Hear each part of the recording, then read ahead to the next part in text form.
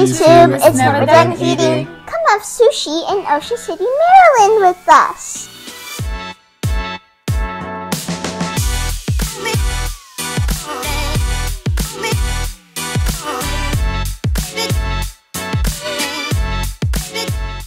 Somewhere in the TJ Maxx Mall in Ocean City, Maryland, there's a little sushi spot called Nori, hidden right inside of it.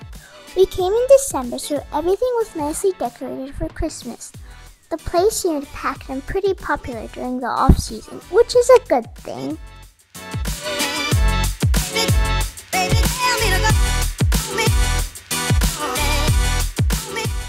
I ordered a virgin mojito, and this one was probably as close to perfection as it gets. It was sweet, you can actually taste the lime, and it was so refreshing.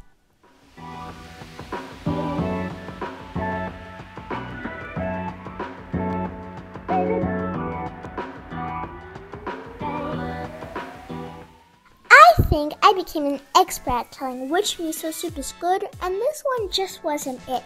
It tasted very bland, it was missing the seaweed chunks, and it kind of tasted like it was made with chicken broth as opposed to fish broth.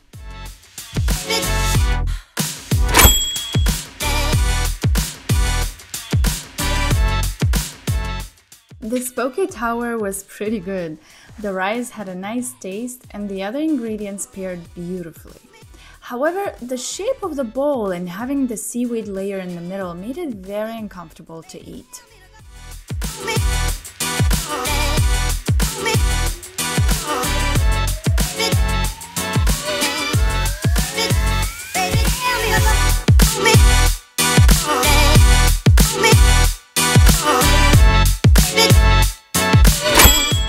The tuna nachos tasted very fresh. We didn't eat much of the nachos because we had enough of deep fried flavor for the day. However, that didn't affect our opinion about this dish. We'd come back for it.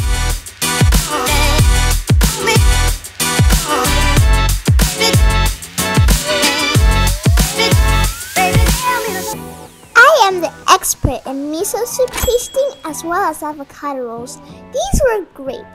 The rice was fresh and the presentation was very successful.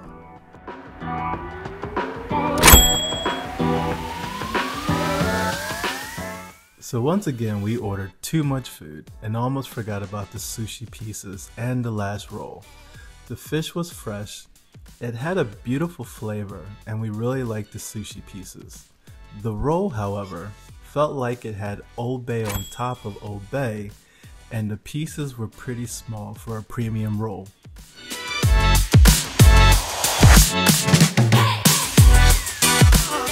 We haven't had a spicy salmon roll executed this way, but we are quite pleased with it. The sriracha and spicy mayo were on top as opposed to being mashed in with the fish.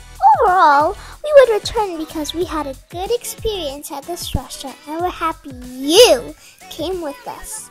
Please like our video, subscribe, hit the notification bell, and we'll see you in our next video. Bye!